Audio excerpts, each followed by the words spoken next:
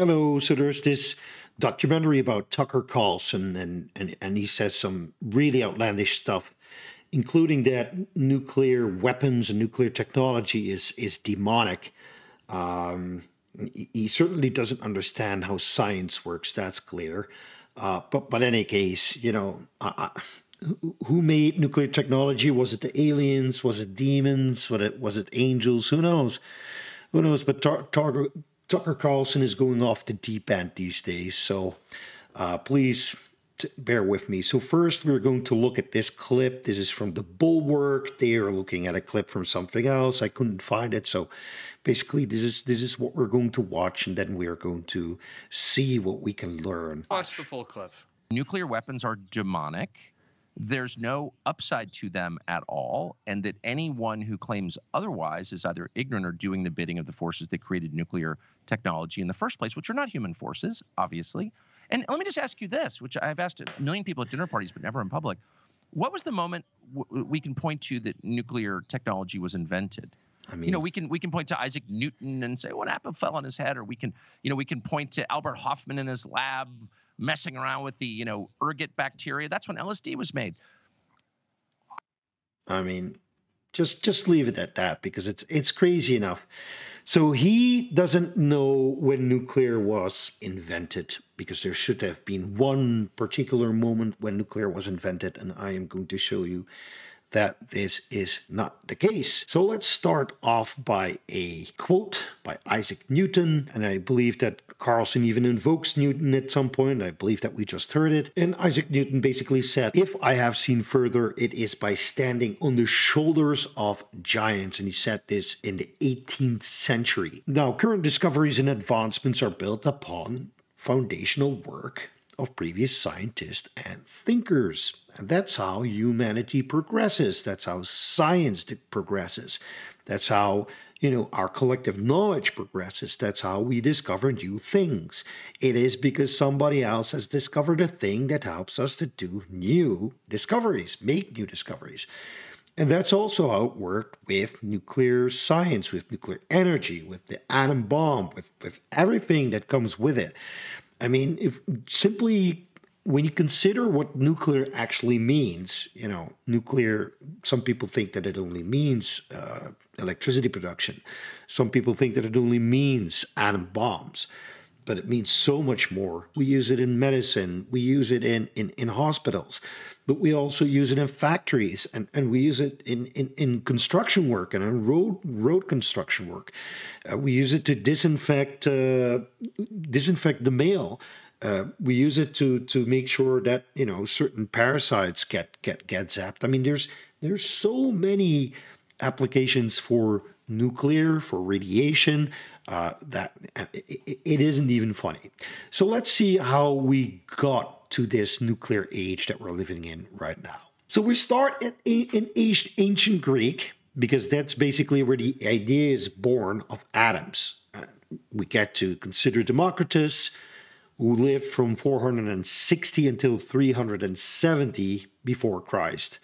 Then we get Epicurus, who basically expanded on the atomic theory.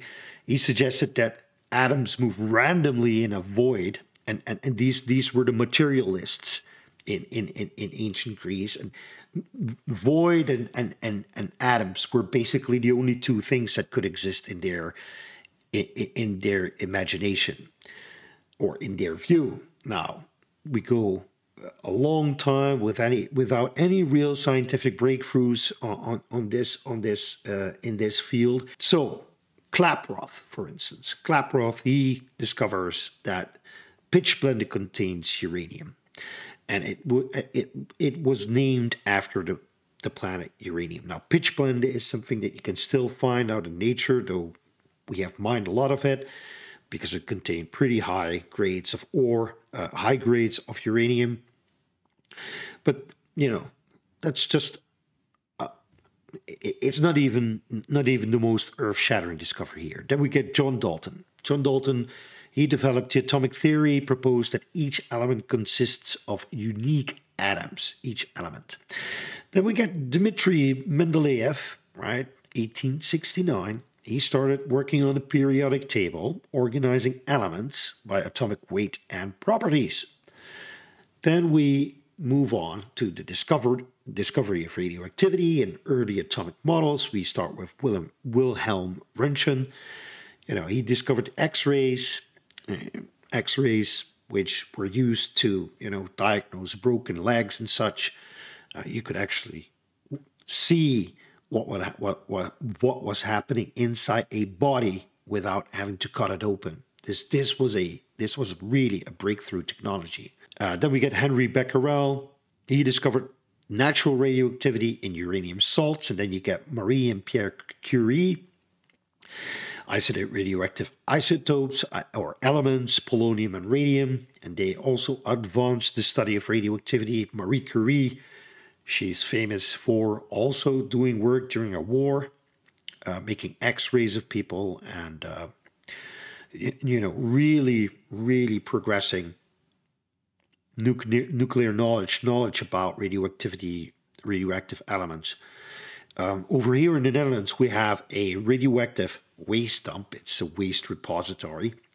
It's it, it's laid out like a museum and they have a piece of Marie Curie's uh, actual lab in there. It, it, it's this pipe, this this with with this purple color in it, and it's highly radioactive. And and when it was there, uh, the guy who was showing me around, he said, "Listen, when they started, you know, checking all the stuff that once belonged to Marie Curie, they basically discovered that all of it was radioactive."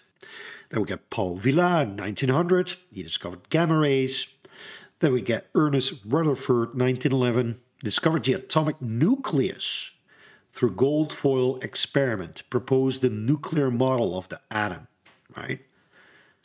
Then we get Frederick Soddy, 1903, described radioactive decay as a transformation of elements, coined the term isotopes.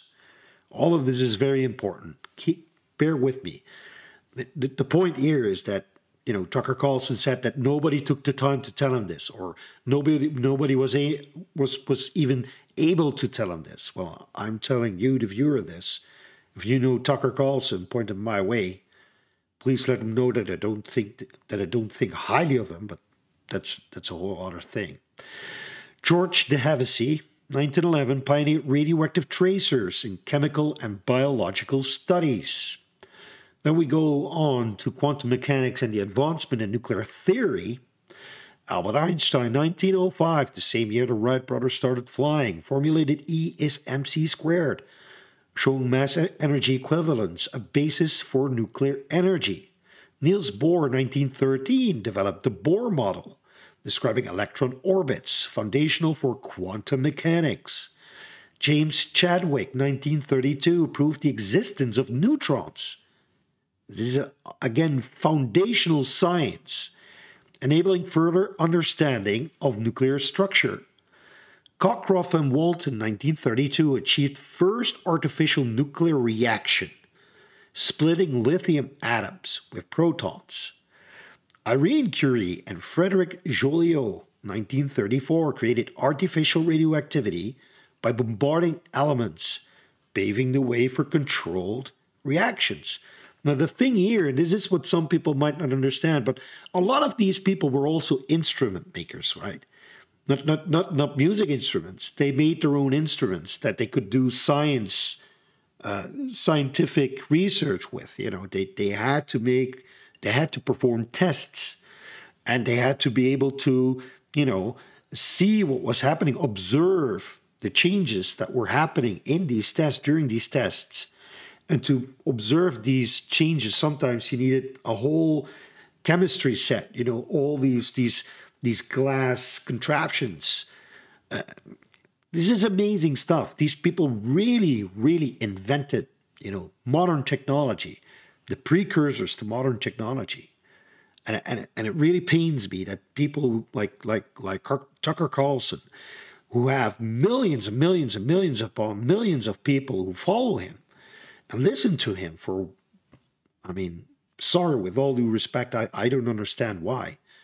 Uh, but these people, they now believe that you know aliens came bring nuclear technology to us, or or demons did it. You know, because obviously Kamala Harris is a demon, and, and she's she's part of the demon cabal. They are the people who are, you know, they want to destroy humanity. So that's why they they they they went through this this two thousand year long effort in order to make sure that we that we that we ended up destroying each other.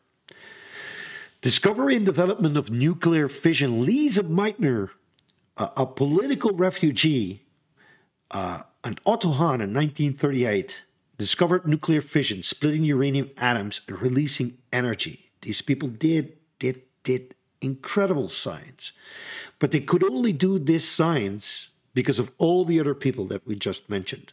The discovery of the neutron, the you know the the, the formulation of the atomic model, all of that stuff, the, the periodic table, understanding of all the elements, understanding of what happens whenever a you know a element interacts with a neutron. And then we get Enrico Fermi in 1942, who basically built the first nuclear reactor, the Chicago Pile 1. You know, he, he started the real atomic age. He showed that we could split atoms, and that we could get energy out of them 200 200 mega electron volts out of every out of every reaction i mean this these people this person enrico fermi and he, here lise meitner and otto hahn and all the people who worked on the manhattan project they did foundational things but they could only do foundational things because generations of scientists before them already did answer some of the you know the elemental questions that needed to be answered in order to get up to that point. We stand on the shoulders of giants the ignorance the ignorance that we see with these people like tucker carlson it, it, it's just it's infuriating so from there we went onward yes we did de- develop the atomic bomb it was either germany or it was the united states and then it was either the United States or Russia. You know, that that that's just how it went. Uh, necessity, the necessity of getting there first, basically boosted research because we we we needed to be first. We let's let's call we the allies. We needed to be there first, so no amount of expense was was spared in order to push this scientific endeavor forward. All of these brilliant, all of these brilliant minds, I, I wrote, written this down, delivered the puzzle pieces needed to propel mankind into new, into, into the nuclear age, for good or for ill, for good, for good, because nuclear, civilian nuclear energy is a force of good in this world. And after Fermi, you know, all we needed to do was combine the technologies that we had and invent some new ones in order to harness the power of the atom. You know, we already had the steam cycle. We already know how to transport heat from one point through a, through a, through a system, make sure that it would drive a, a, a shaft that would in the end get into a generator, and there, with all the magnets and the copper, would generate electricity. We that, that was technology that was already existing. We just had to adapt it in order to make it make it work with nuclear. That was all.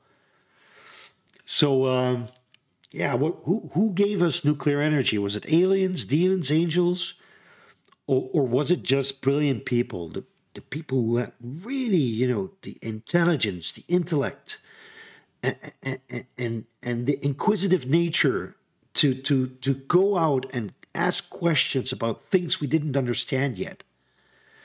So science works. That's my message for Tucker Carlson and his Christian buddies. And we will only progress if we keep asking questions and keep trying to innovate and keep coming up with answers to fundamental problems. And no demons or, or, or, or aliens are required. And this is a bit of a rant, so I'm glad that you made it up until the end. Um, I want to thank all my Patreon supporters, obviously.